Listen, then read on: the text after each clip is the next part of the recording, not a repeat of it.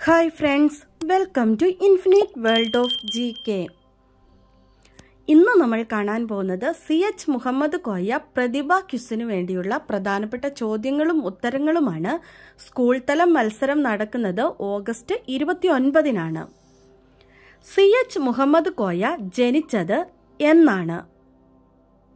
ആയിരത്തി തൊള്ളായിരത്തി ഇരുപത്തിയേഴ് ജൂലൈ പതിനഞ്ചിന് കോഴിക്കോട് ജില്ലയിലെ അത്തോളിയിലാണ് സി എച്ച് മുഹമ്മദ് കോയ ജനിച്ചത്. ഏറ്റവും കുറച്ചു ദിവസം കേരളത്തിന്റെ മുഖ്യമന്ത്രിയായിരുന്ന വ്യക്തിയാണ് സി എച്ച് മുഹമ്മദ് കോയ. എത്ര ദിവസമാണ് അദ്ദേഹം കേരളത്തിന്റെ മുഖ്യമന്ത്രിയായിരുന്നത്? അൻപത്തിനാല് ദിവസം. നിയമസഭാ സ്പീക്കറും സംസ്ഥാന മുഖ്യമന്ത്രിയുമായ ഏക വ്യക്തി ആരാണ്? സി എച്ച് മുഹമ്മദ് കോയ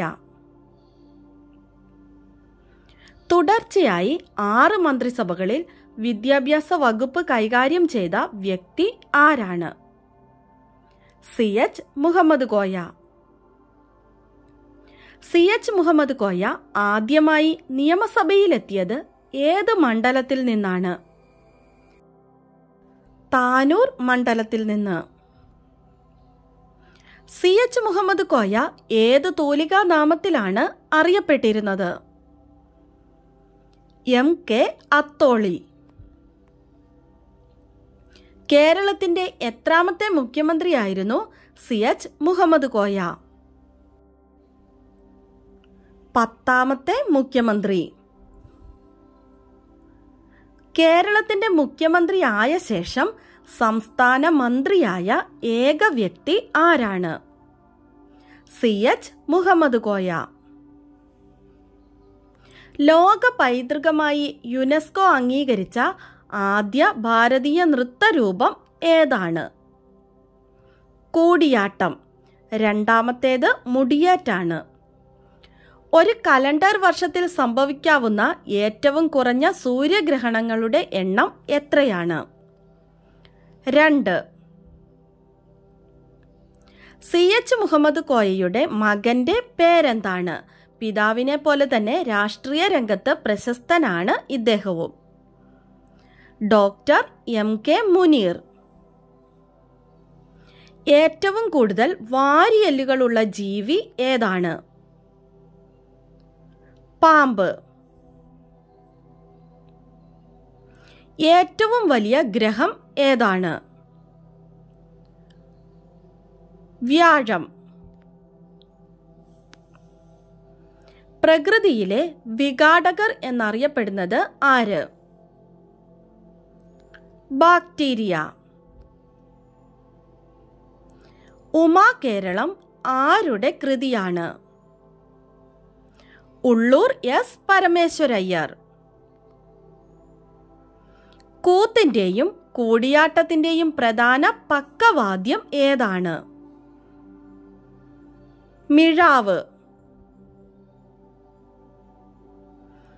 കാണ്ഡത്തിന്റെ അടിഭാഗത്ത് നിന്ന് എല്ലാ ദിശകളിലേക്കും നാരുകൾ പോലുള്ള ധാരാളം വേരുകൾ ഉള്ളതിന് പറയുന്ന പേരെന്താണ്? നാരുവേര് പടലം ചെടികളിൽ പ്രകാശ സംശ്ലേഷണത്തിന് സഹായിക്കുന്ന ഘടകം ഏതാണ്? ഇലകളിലെ പച്ച നിറമുള്ള ഹരിത കണങ്ങൾ അഖിലാണ്ട മണ്ഡല മണിച്ചൊരുക്കി എന്ന പ്രാർത്ഥനാ ഗാനം രചിച്ചത് ആരാണ്? Pandalam K P Ramanpillai. ഏറ്റവും നീളം കൂടിയ വിരലുകളുള്ള പക്ഷി ഏതാണ്? താമരക്കോഴി. ബീഹാർ ഗാന്ധി എന്നറിയപ്പെടുന്നത് ആരാണ്? ഡോക്ടർ രാജേന്ദ്ര പ്രസാദ്. കേരളത്തിലെ ഏക നിത്യഹരിത വനം ഏതാണ്? Silent Valley. ഇന്ത്യൻ നവോത്ഥാനത്തിന്റെ പിതാവ് എന്നറിയപ്പെടുന്നത് ആരാണ്? രാജാറാം മോഹൻ റോയ്. മനുഷ്യ ശരീരത്തിലെ അസ്ഥികളുടെ എണ്ണം എത്രയാണ്? ഇരുന്നൂറ്റി ആറ് കേസരി എന്ന തൂലികാനാമത്തിൽ അറിയപ്പെടുന്ന സാഹിത്യകാരൻ ആരാണ്? വേങ്ങയിൽ കുഞ്ഞിരാമൻ നായനാർ. ആത്മകഥയ്ക്കൊരാമുഖം എന്നത് ആരുടെ കൃതിയാണ്? ലളിതാംബിക അന്തർജനം മലയാളത്തിലെ ആദ്യ യാത്രാ വിവരണമായി കരുതപ്പെടുന്ന കൃതി ഏതാണ്? പാറമേക്കൽ തോമ കത്തനാർ എഴുതിയ വർത്തമാന പുസ്തകം. ലോക ക്ഷീരദിനം എന്നാണ്. ജൂൺ ഒന്നിന്. ഗോതമ്പിൽ പരാഗണം നടക്കുന്നത് എങ്ങനെയാണ്? കാറ്റുവഴി. സ്വന്തമായി ആഹാരം നിർമ്മിക്കുന്ന സസ്യങ്ങൾക്ക് പറയുന്ന പേരെന്താണ്? സ്വപോഷികൾ അഥവാ autotrophs.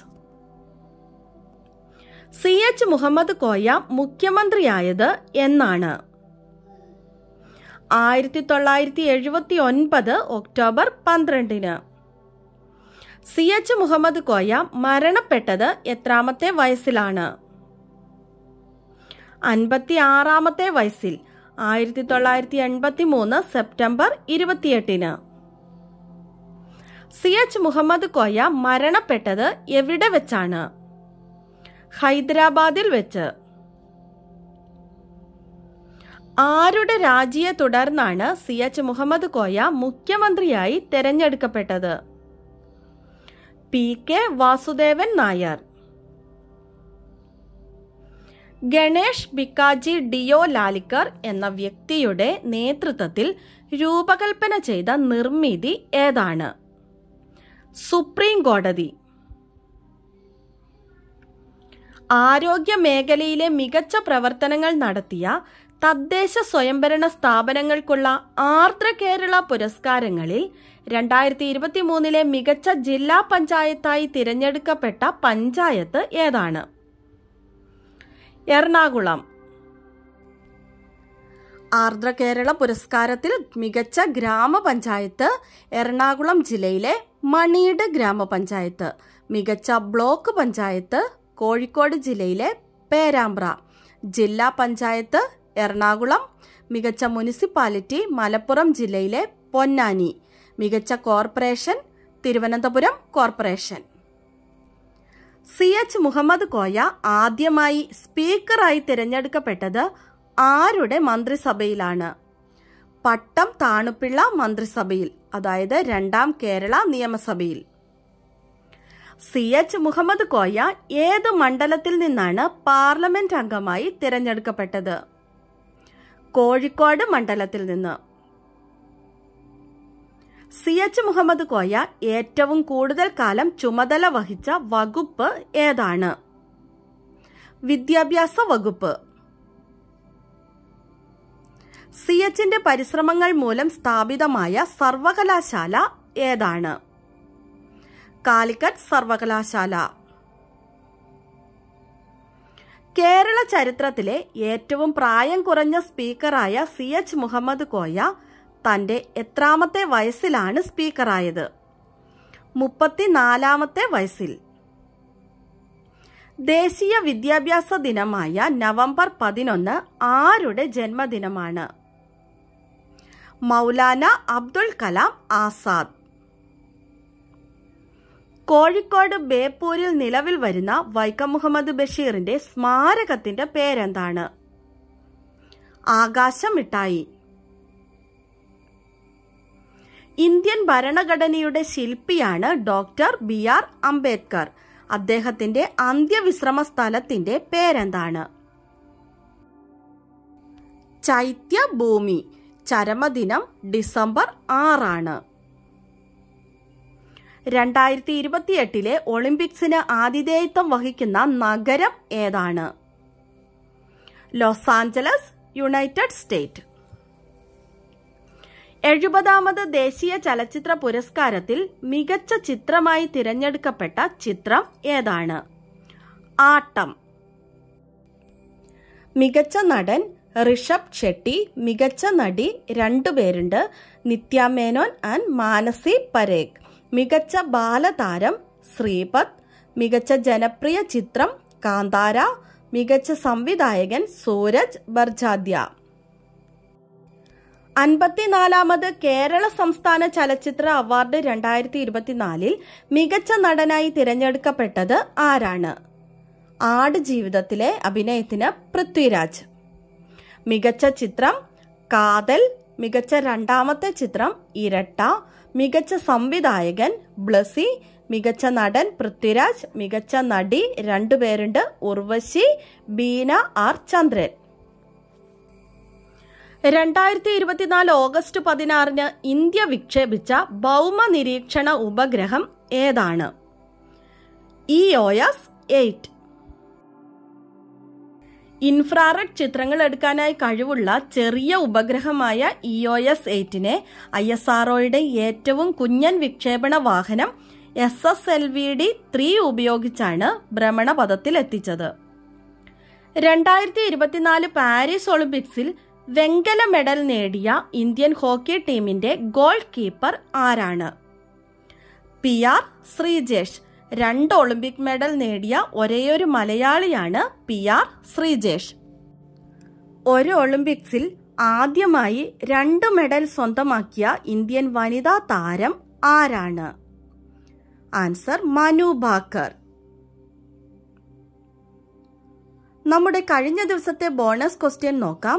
രണ്ടായിരത്തി ഇരുപത്തിനാല് പാരീസ് ഒളിമ്പിക്സിൽ പുരുഷന്മാരുടെ ജാവലിൻ ത്രോയിൽ എൺപത്തി ഒൻപത് പോയിന്റ് നാല് അഞ്ച് മീറ്റർ എറിഞ്ഞ് വെള്ളി മെഡൽ നേടിയ ഇന്ത്യൻ താരം ആരാണ്? ആൻസർ നീരജ് ചോപ്ര. കറക്റ്റായി ആദ്യം തന്നെ ആൻസർ പറഞ്ഞിരിക്കുന്നത് Arjun P M Sreerudra K Sriya Sunil M Nadia Nasreen Nandana Unnikrishnan Archa Nasha എന്നിവരാണ് ആൻസർ കറക്റ്റായി പറഞ്ഞ എല്ലാ കൂട്ടുകാർക്കും ഒത്തിരി ഒത്തിരി അഭിനന്ദനങ്ങൾ. തുടർന്നും വീഡിയോ കണ്ട് സപ്പോർട്ട് ചെയ്യണമെന്ന് ഓർമ്മിപ്പിക്കുന്നു. നമുക്ക് ഇന്നത്തെ ബോണസ് ക്വസ്റ്റ്യൻ നോക്കാം. ഓണത്തിന് വിഷരഹിത പഴങ്ങളും പച്ചക്കറികളും ഉൽപ്പാദിപ്പിക്കുന്നതിനായുള്ള കുടുംബശ്രീയുടെ പദ്ധതി ഏതാണ്? ഓണത്തിന് വിഷരഹിത പഴങ്ങളും പച്ചക്കറികളും ഉൽപ്പാദിപ്പിക്കുന്നതിനായുള്ള കുടുംബശ്രീയുടെ പദ്ധതി ഏതാണ്? ആൻസർ അറിയാവുന്നവർ വേഗം തന്നെ കമന്റ് ചെയ്തോളൂ. ഇന്നത്തെ വീഡിയോ നിങ്ങൾക്ക് എല്ലാവർക്കും ഇഷ്ടമായി കാണുമെന്ന് വിചാരിക്കുന്നു. ഇഷ്ടമായ ലൈക്ക് ചെയ്യാനും നിങ്ങളുടെ കൂട്ടുകാർക്കൊക്കെ ഒന്ന് ഷെയർ ചെയ്ത് കൊടുക്കാനും സബ്സ്ക്രൈബ് ചെയ്യാതെ കാണുന്ന കൂട്ടുകാരുണ്ടെങ്കിൽ ഒന്ന് സബ്സ്ക്രൈബ് ചെയ്യാനും മറക്കല്ലേ. പുതിയൊരു വീഡിയോയുമായി നമുക്ക് നാളെ വീണ്ടും കാണാം. Thanks for watching